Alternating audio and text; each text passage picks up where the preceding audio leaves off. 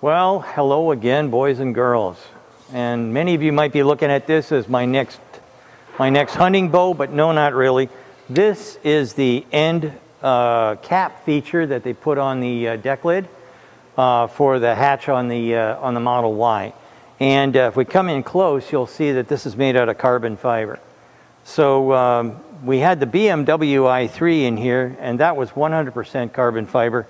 But this is a different uh, type of a process. The, uh, the carbon fiber that was used for the BMW i3 was uh, using um, RTM, resin transfer molded, uh, molding I should say. And what we're looking at here, this is uh, over molded straight onto a plastic substrate.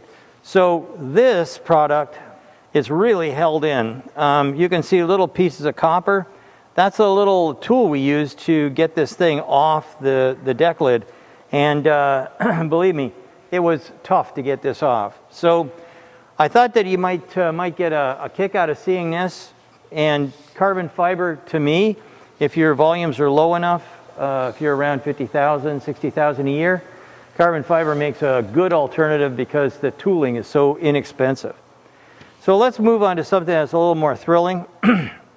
And what we're going to do here is we're going to talk a little bit about the, uh, the boards. So let's have a look at, uh, at these two controller boards. These are the uh, body control modules. And uh, this one here is from the Model 3. And you can see that it's heavily populated. But let's take a look at the Model Y. So some people look at um, continuous improvement but what I like to see is continual improvement. And that's what we see here. This board here is, you can see it right there, a Gen 3, Generation 3 on, the, uh, on, this, uh, on this controller board. This one right here, you can see is Gen 1. Actually, it doesn't even have a sign, it just says, it just says left controller. Let's take a look at this from a lot of different areas. Let's, let's have a look at this. Look at this, boys and girls. All that and all this has been chopped from the Tesla Model Y. This, this board, this board, when we look at it, it you don't have to be uh, an electronics engineer to see that this board is much more heavily populated than that one is. There's more going on in the Tesla Y but just take a look at that. And then when we flip it over, wow. Again, you don't have to be an electronics engineer to see how this board's been utilized on the new Tesla Model Y. Now, we don't know what's going on with the Tesla Model 3, but I do know one thing for sure. The Tesla Model 3 and the Tesla Model Y are not the same, uh, we're not the same kind of car. When I took apart, when we took apart the Model 3, we noticed that, hey, this looks like it could be populated. Well, they did populate it, and then some. And let's just take a look at some of the uh, some of the smaller things. I was very critical of how many threaded fasteners they had. Well, here's a threaded fastener right here, and they've eliminated it. They've taken that off in favor of a snap fit like that, something similar or akin to what you'd have in your own house. The Model 3 and the Model Y, I think the Model Y is continual improvement, not waiting for a year-end type of uh, introduction and whatnot, but continuously going over and over again. How do we make it a little better? Let's implement it. How do we make it a little better? Let's implement it. So that this and that may be backward compatible to each other, but we can't tell right now. What we want to really do is, is have a look at what, what they've done before and what they've done now. So without sounding like I'm uh, going to go on and on about this, for those of you out there in the OEM world or the circuit board world or the control world or electronics design world, you, you better have a look closely at what's going on here. That's why we highly recommend you email sales at leandesign.com. I already think that uh, that Tes- when I saw this, I said that they were about five years ahead. After looking at that, I am not sure how much further ahead they are now because, again, we're looking at chips that mm, it's going to take us a while to recognize. Our best people, the best people at Munro for controls, the guys that work on DoD projects and whatnot, they're the guys that are analyzing this stuff now. We've gone beyond the normal stuff that we would find with, uh, with uh, a normal electronic circuit boards and whatnot. And now we're into, um, this is really exotic stuff. So we were going to show you a little bit about this. This is what the reports look like. Um, this is all electronics. Everything you see here, this is about 600, 500, 600 pages. All this is talking about electronics. And this is the old Model 3. Now, the new Model Y is coming out here shortly.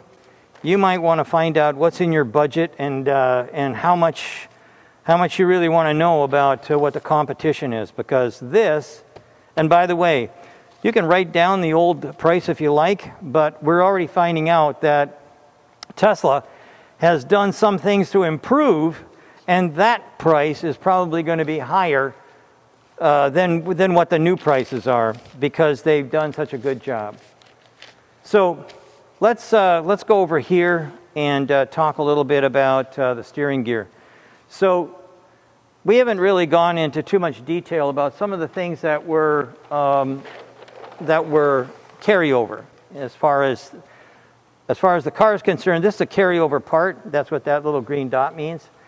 But it does have a couple of features that changed a little bit. And one of them are the uh, are these tie rod ends. So we look at the ends of the shaft or the ends of these uh, adjusting shafts here, and they've they've been changed or modified a little bit. But the rest of this stuff right in here is similar or exactly the same as what you find in the Model 3 for the uh, steering system. So over here we have what you would see inside if you could take it apart. And these are the components that basically connect to your steering wheel.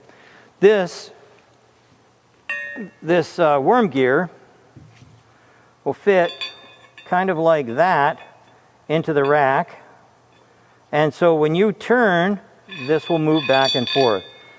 That's how your uh, steering system works. So this is the belt that, uh, that runs between the motor and the, uh, the drive mechanism. And then these two uh, components, these two gears, will fit inside like this. And as this one turns, this one will turn a lot more slowly. Now, really and truly, this is kind of standard, but this is not and this is the controller board for the steering system.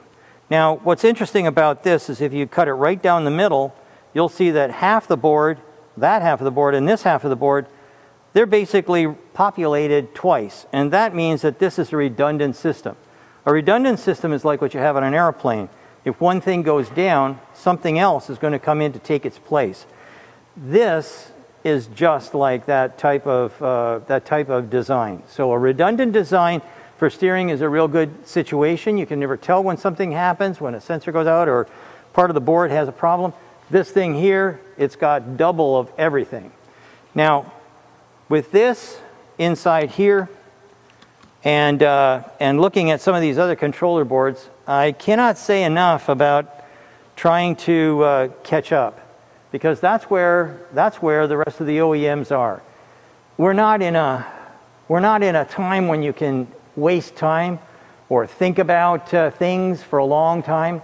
If you're in the automotive business, I, I think it'd be a good idea to figure out how you're going to compete, what you're going to do to compete. And if you use General Sun Tzu, he said, Know your enemy, know yourself, win every battle. Do you know yourself? I'll bet you don't know your enemy.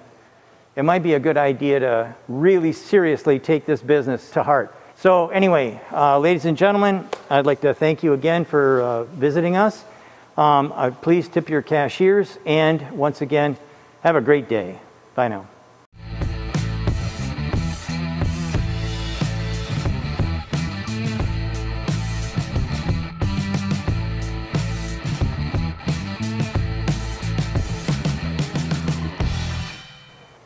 Hey, welcome to Munro Bonus. Let's have a look at this. So this is the left hand and this is the right hand body control module. Watch this. Oh my goodness, they populate both boards at the same time, or at least use the same substrate. Okay, now for those of you who didn't watch, you're out of luck. Have a great day.